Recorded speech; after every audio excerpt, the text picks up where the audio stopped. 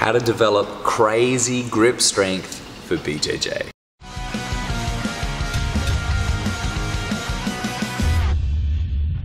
Hey guys, Coach Tom here, talking today about how to develop really crazy grip strength. Um, I think grip strength is super important. I mean, obviously in the gi, it's crazy important, but even in no gi, I think for uh, the grips uh, are harder to keep a hold of. So I think makes grip strength really important, like especially wrist ties, stuff like that.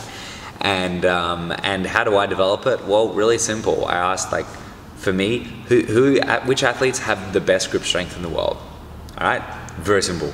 Rock climbers because they hold on to their freaking little tiny rock holds with one or two fingers and they're to fall off to their death. Not really, unless they're, you know, free soloing. But, you know, I, I learned from that. I love rock climbing, so I rock climb a lot, so grip strength has always been really easy for me. You know, I've never had any like grips broken in competition or anything like that. Um, you know, uh, it's pretty hard to break my grip, even though I don't have like big hands or like thick sausage fingers. You know, I've got like piano playing guitar fingers. Um, but guys, I think bit of rock climbing. You know, even if you went to a rock climbing gym once a fortnight, I think you're going to find like exceptional, exceptional results.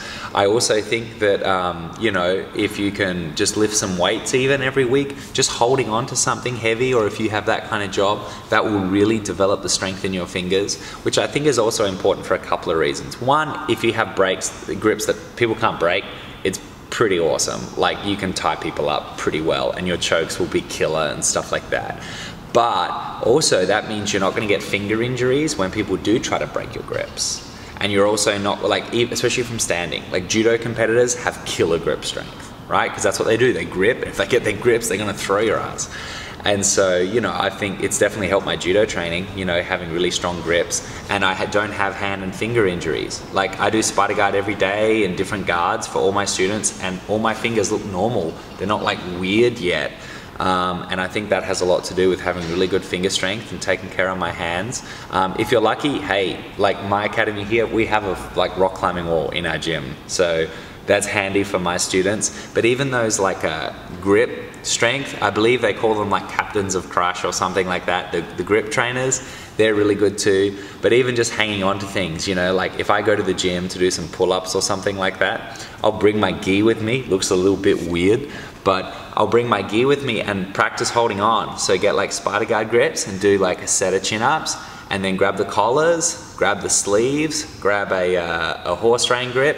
I get all my different grips, pocket grips, and uh, and I just do chin ups and pull ups and stuff like that, and and I find that really really helped my game. Um, so yeah, when a normal you know 200 pound guy just tries to break my grip, it's to be pretty hard.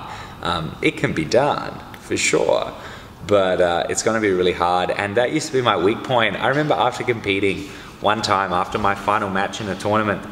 I'd gone, got my medal and everything, and I still couldn't even open my hands. I had to pry my fingers and they would just fling straight back. Um, I'd never encountered anything like it. I think I was a blue belt at the time. And uh, I just decided right then and there, like, I'm never gonna let this happen to me because I couldn't even shake the guy's hand who gave me a medal, and I was like a bit embarrassed. So I thought, no, I'm never going to let this happen again. And now I don't even feel any pump in my forearms. Like not rolling with my guys every day, competing doesn't matter. I don't feel that. So there you go, guys. How to develop crazy grip strength for Jiu-Jitsu. I'm Coach Tom. I'll see you next time. Hey guys, thanks for watching the video. I hope you loved it. Don't forget to subscribe to our YouTube channel or check out more of our YouTube videos here. We are a free BJJ resource bringing you BJJ techniques and tips and hacks every day for free forever to make your life on the mats more fun. I'm Coach Tom. I'll see you next time.